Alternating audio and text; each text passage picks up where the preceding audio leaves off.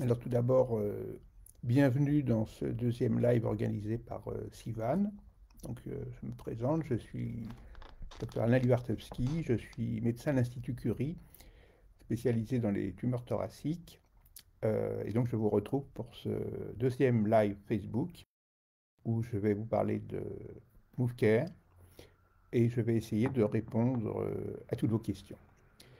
Alors tout d'abord, rapidement, je qu'est-ce que MoveCare? Donc MoveCare est une web application qui est prescrite par un médecin pour les patients qui sont traités ou qui ont été traités pour un cancer du poumon. L'objectif est de faire en sorte que le patient puisse, puisse lui poser des questions euh, simples, des questions sur ses symptômes, sur son ressenti, euh, une fois par semaine.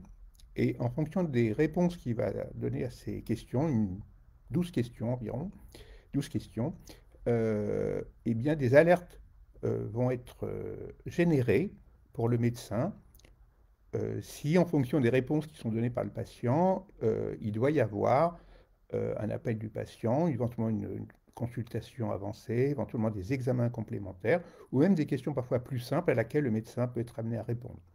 Donc ces questions arrivent chez le patient environ une fois par semaine, mais entre deux au milieu, entre deux questionnaires qui arrivent systématiquement, le patient peut lui-même engendrer un nouveau questionnaire. Si tout va bien, si toutes les réponses, euh, le patient dit qu'il va, va, tout, va parfaitement bien, à ce moment-là, il n'y a pas d'alerte, le médecin n'est pas averti, n'est pas dérangé. Euh, et par contre, s'il y a des, symptômes qui peuvent euh, soit inquiéter le patient, soit être un signe d'une éventuelle récidive, par exemple, donc le médecin est informé et le patient peut être vu plus précocement. Mm. Alors, ce qui a été démontré dans ce qu'on appelle un essai clinique, c'est-à-dire que essai clinique, c'est-à-dire qu'une partie des patients utilisaient l'application MoveCare, d'autres patients ne l'utilisaient pas. Euh, c'est une étude qui a été euh, euh, coordonnée par un médecin, le docteur Fabrice Denis. et cette étude a montré que les patients qui utilisaient MoveCare, eh bien, dans la mesure où les, récidives étaient détectées plus précocement grâce à l'application, eh bien, on observait un gain euh, en survie, c'est-à-dire que les patients qui utilisaient MoveCare euh, vivaient plus longtemps parce qu'on détectait beaucoup plus précocement euh, la récidive. et donc, c'est grâce à ça que cette application peut être prescrite par les médecins, qu'elle est gratuite pour les, patients, parce qu'il y a un coût de cette application, mais elle est prise en charge à 100% par l'assurance maladie. Et donc ça permet aux médecins de suivre euh, euh, une, fois, une fois par semaine, euh, les médecins sans avoir à les voir en consultation, sans leur demander systématiquement un examen. Et pour les patients, ce, qui a été démontré dans l'étude, c'est une diminution de l'anxiété, par exemple. Et ce qu'on observe, et les patients nous le disent, c'est que bah, ils sont rassurés. Bah, pourquoi? Parce que ça garde un lien entre le patient et son équipe médicale. Euh, voilà, donc c'est ça le principe de l'application. Euh, aujourd'hui utilisé dans le cancer du poumon, mais euh, probablement dans d'autres cancers, ça va être développé parce que ça a montré son intérêt. et on sait que bah, grâce au développement de ce qu'on appelle la thérapie, des thérapies digitales, euh, et puis le développement d'Internet, de plus en plus de, patients sont connectés, soit par Internet, soit par, grâce à leur téléphone portable, et que tout ça va se développer, va permettre d'améliorer le suivi sans le voir systématiquement en consultation à l'hôpital. Voilà le principe de, de Alors, euh, je sais que des, euh, des, questions avaient été posées en avance de, ce, donc de, ce live. Euh, et euh, par exemple, une première question, est-ce que euh, dans l'équipe médicale, est-ce qu'une infirmière vous aide à utiliser MoveCare Alors la réponse est, oui. Pourquoi?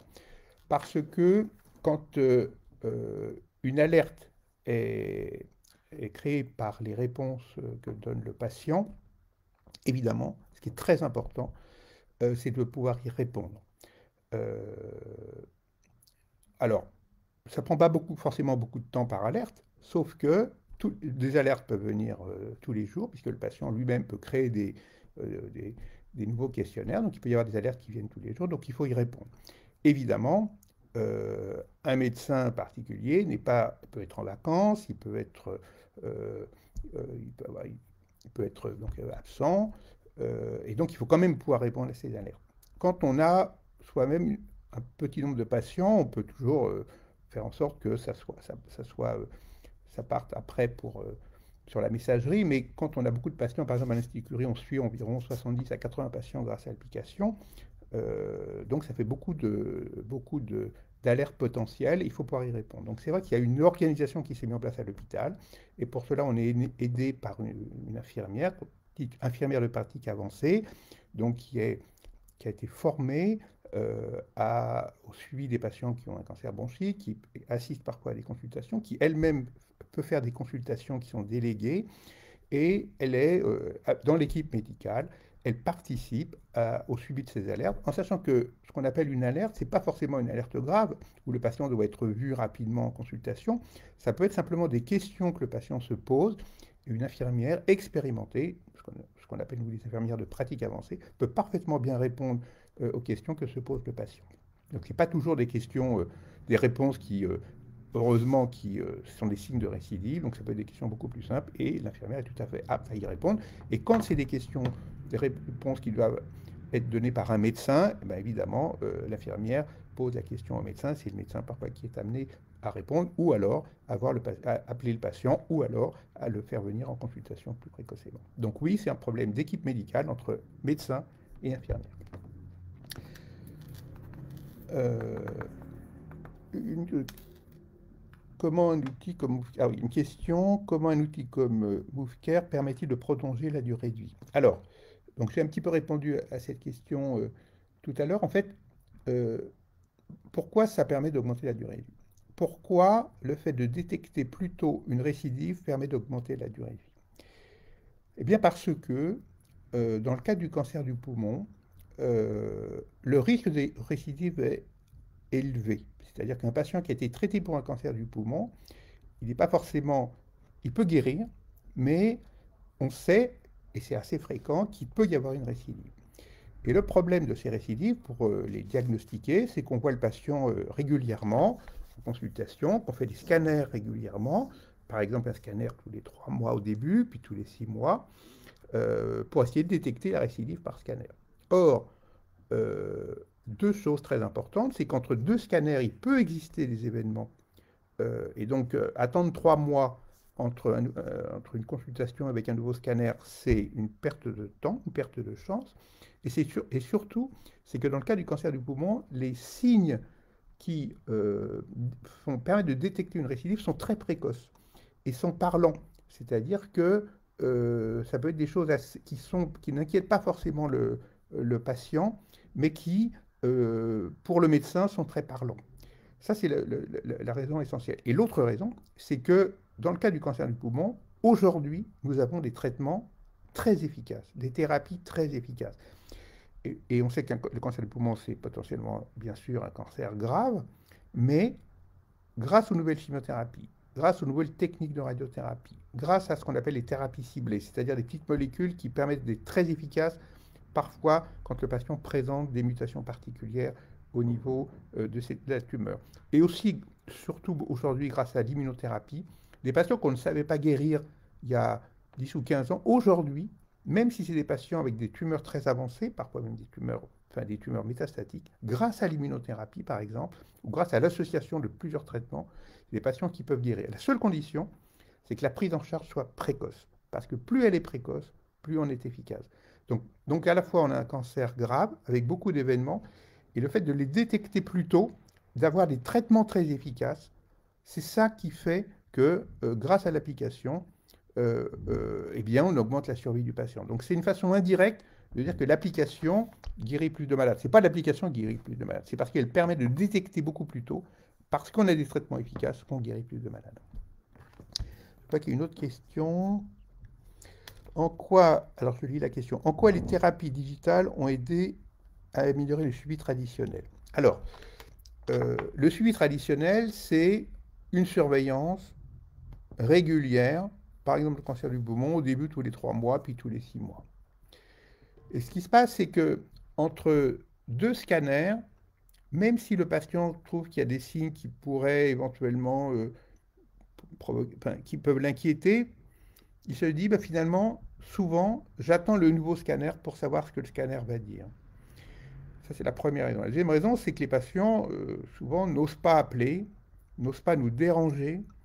et parfois, quand ils appellent, c'est pas toujours facile de trouver, d'avoir le médecin en direct, de l'avoir au téléphone.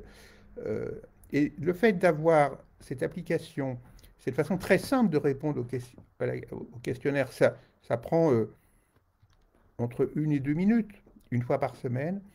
Euh, eh bien, grâce à cet outil finalement très simple, eh bien oui, ça change la prise en charge. Au lieu d'être surveillé tous les trois mois, finalement, il est surveillé une fois par semaine sans se déranger. Et on sait que ce type d'application va se multiplier. Dans le cancer du poumon, ça a été celle qui a été, pour lequel on a montré une grande efficacité, mais ça va se développer probablement dans d'autres types de cancers. Il y a déjà des études en cours pour cela. Les questions seront un peu différentes parce que les signes qui évoquent une récidive sont un peu différentes, mais ça peut être aussi euh, un système qui peut, permettre, par exemple, de suivre euh, euh, l'efficacité de certains traitements, de détecter plus rapidement des effets secondaires pour pouvoir les traiter plus efficacement. Et, donc tout ça va pouvoir se développer dans les années à venir. Euh, alors oui, une question qui est très importante, c'est comment les patients vivent-ils tout ça? Quels sont les retours qu'ils nous donnent? Alors, d'abord, je crois que ce qui compte pour le patient, c'est tant qu'il est traité de façon active, il est pris en charge, il vient à l'hôpital tout le temps, il voit sans arrêt son médecin, et donc il est, en gros, il, est pris en charge. Et puis dès que le traitement euh, actif de cette tumeur est, terminé, le patient retourne à son domicile, il a l'impression qu'il est un peu dans la nature, et euh, c'est vrai qu'entre deux consultations, il a l'impression d'être un peu perdu. Et en fait, le fait que d'avoir cette application qui est prescrite par un médecin, pour lequel le, patient sait que s'il pose des questions, il aura des réponses. S'il a des signes cliniques qui peuvent l'inquiéter, euh, il aura des réponses. Ça crée un lien entre euh, le patient et l'hôpital. Et donc pour le patient, c'est très rassurant. C'est ce qu'ils nous disent. On est rassuré de ne pas être perdu dans la nature. Il y a un lien qui est conservé euh, entre lui-même et l'équipe hospitalière. Et pour le patient, c'est très important d'être rassuré, de ne pas être perdu dans la nature. Et je peux même dire que même pour les médecins, c'est très important. Lorsque le patient est dans la nature, on sait qu'il peut lui arriver quelque chose et on sait que pendant, tout, toute cette période de trois mois ou de six mois, on ne va pas le voir. Et, euh, et, donc même pour un médecin, c'est important d'être, alors c'est une autre façon d'être rassuré, mais c'est important d'être rassuré en sachant que le patient, finalement, il va garder un lien avec nous et donc, on va pouvoir. c'est presque plus facile pour nous de lâcher dans la nature parce qu'on sait qu'on garde le lien. Donc, c'est à la fois plus rassurant pour le patient et de façon un peu paradoxale, c'est aussi plus rassurant pour le médecin. Alors, euh, une question que je vois apparaître. Moufker, vous êtes-il dans la consultation médicale? Alors, oui. Comment? Alors, au début, euh, avant de l'utiliser, je me disais que passer par un système de type Internet, de type application, euh, ça pouvait peut-être déshumaniser la relation entre le patient et l'hôpital. Et en fait, c'est exactement l'inverse qui se passe. Pourquoi? Parce que euh, on suit régulièrement ce qui se passe, le patient étant à domicile, puisqu'il répond à des questions, puisque aussi il a la possibilité de mettre lui-même en texte libre euh, des impressions qu'il a sur, son état de santé. Et donc, euh, régulièrement, une fois par semaine, de façon très simple, on voit ce qui se passe euh, du côté du patient. Et lorsqu'on le voit en consultation, plutôt que de lui poser des questions un peu, toujours un peu les mêmes, en fait, tout de suite, on va à l'essentiel. C'est en fonction de ce qu'il a, des, questions, des réponses qu'il a données dans son questionnaire, ben, en fait, la consultation, elle est tout de suite beaucoup plus personnalisée. Euh, et donc ça, paradoxalement, alors qu'on utilise un outil technologique, ça personnalise la relation entre le patient euh, et l'équipe médicale et, le médecin, et le médecin qui le suit en, consultation. Donc, du coup, ça permet peut-être bon de gagner du temps pour la consultation, mais surtout, surtout de personnaliser la consultation qu'on va avoir avec le patient. Et ça, c'est un gain considérable parce que on va à l'essentiel. Et ça, c'est très important. Alors, est-il possible d'utiliser Moufcare après une intervention chirurgicale? Alors, oui.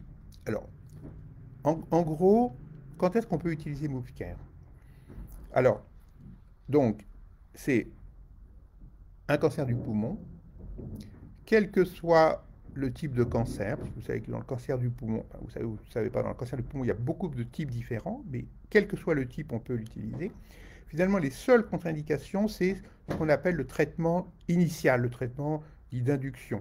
Euh, souvent, c'est des traitements qui sont assez lourds, que ce soit euh, euh, la, chimiothérapie, la radiothérapie, et donc ce n'est pas adapté à cette situation-là. Par contre, dès que le traitement initial est terminé, que ce soit une chirurgie, que ce soit une radiothérapie associée ou non à une chimiothérapie, ou que ce soit une chimiothérapie d'induction, donc celle du début, qui occasionne, on le sait, beaucoup d'effets secondaires.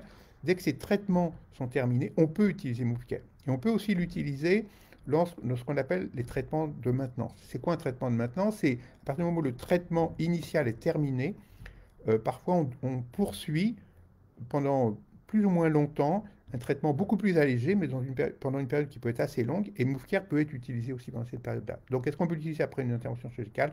La réponse est oui, parce que ça permet euh, de, comme on l'a dit, de détecter plus précocement des récidives. Et on sait que malgré le fait qu'un patient est opéré, il peut survenir des récidives dans le cas d'un cancer du poumon. Alors, est-ce, que, ça s'applique uniquement au cancer du poumon à d'autres types du cancer? Alors, aujourd'hui, Moufcare n'est utilisé que dans le cas du cancer du poumon parce que c'est dans cette indication qu'on a fait la preuve de son intérêt. Euh, et il y a d'autres études qui, ont, qui sont en cours dans d'autres cancers. Euh, et, euh, et, tant qu'on n'a pas les résultats, ce n'est pas encore utilisé dans d'autres types de cancers parce qu'il faut prouver que ça a un intérêt sur le plan euh, clinique, donc sur le plan d'efficacité, ou même simplement sur le plan de la qualité de vie, ou même simplement du fait que ça permet de diminuer des examens complémentaires qui seraient inutiles. Donc il y a beaucoup de, de, retombées potentielles de ce type d'application. Encore faut-il en démontrer l'intérêt. Et donc c'est pour ça que d'autres études sont réalisées euh, en France et de par le monde pour démontrer l'intérêt de ce type d'application dans différents types de cancers et pas seulement dans le cancer du poumon. Alors, une question, quel est votre point de vue sur les thérapies digitales euh, et leur rôle dans l'organisation du système de santé? Mon point de vue, c'est que euh, au début, j'étais un peu perplexe. Et quand euh, j'ai vu l'intérêt que ça avait pour le médecin, et surtout l'acceptabilité par les patients, parce que forcément, je me disais, mais est-ce que les patients vont accepter de répondre à un questionnaire en utilisant Internet ou leur téléphone portable? Et quand on voit l'acceptabilité par les, pour beaucoup, beaucoup de patients, parce que c'est simple à utiliser, parce que les questions sont simples, parce que ça rassure le patient, eh bien, euh, moi, en tant que médecin, j'ai été rassuré. Donc, euh, je pense, j'en suis persuadé, que ça va euh, beaucoup se généraliser, pas seulement dans le cadre du cancer du poumon, pas seulement dans le cadre du cancer en général, dans d'autres pathologies également, parce que il n'y a pas de raison qu'on n'utilise pas toutes les technologies à nos dispositions, en gros, pour améliorer le suivi du patient, qui doit rester, si possible, le plus longtemps à domicile et si possible euh, de voir le moins souvent possible des médecins et venir à l'hôpital pour rien. Alors, euh, je, crois qu'on arrive à la fin de ce, euh, live organisé par Sivan. Donc, évidemment, vous pourrez revoir ce live sur Facebook. Vous pouvez poser des questions après ce live s'il y a des questions qui vous viennent à l'esprit et ben, on essaiera d'y répondre. Et donc, euh, bah, merci d'avoir participé pour ceux qui ont participé et on, on, pourra euh, répondre à vos questions euh, si vous en avez. À bientôt.